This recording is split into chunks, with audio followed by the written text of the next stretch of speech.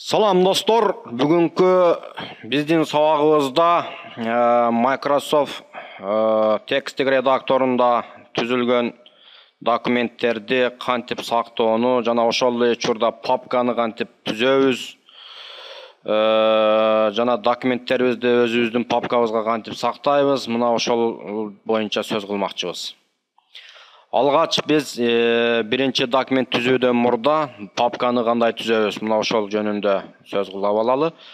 Ал үчүн алгач ушул windows операциондук системасынын жумушчу столунда мына курсорубуздун көрүнүп турганын көрүп турасыздар.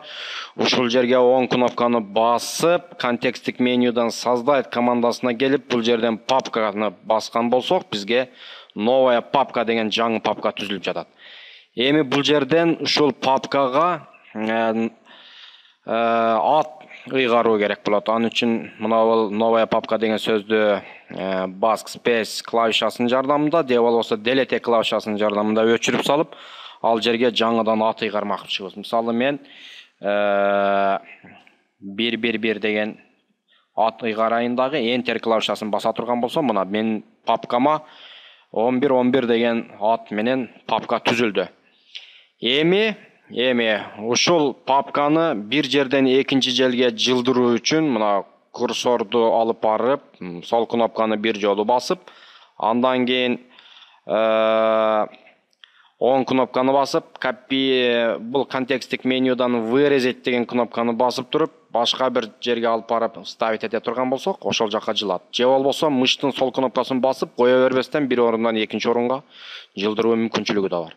Эгер ушул папканы ача турган болсок үзгүлтүксүз түрдө мышканын сол кнопкасын баса турган болсок папка ачылат. Же болбосо оң кнопканы басып контексттик менюдан открыть командасын басуу менен дагы папканын ичин ачып алууга болот. Мына көрдүңүздөр. Эми биз э, башкы меню болгон мына пуска барабыз. Бул жерден э, все программа командасын аткаруу менен бул жерде э, microsoft office деген команданы таап алабыз дагы офистик пакеттин базасын.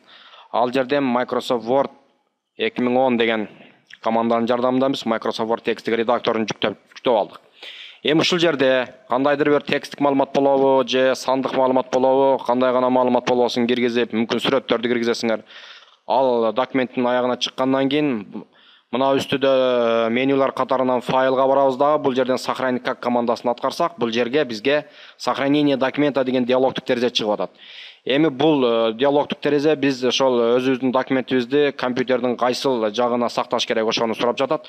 Бул жерден биз э, мына бул адрестер жолчосунан мына бул жерден. Э, же болбосо мына бул сол панелден сол панелден мына бул бегунок деп коет мына мына мына ушул бегунокту колдонуу менен ылдыйөөдө барактайбыз.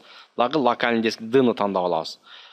Сол жак тарапта же болбосо ушул дга сактай турган болсок мына ушундай операция жүргүзүлөт. Же болбосо ушул бегунокту өйдө ылдый барактоо менен биз мына жерде рабочий столду бассак рабочий столдун жалпы көрүнүшү ачылат.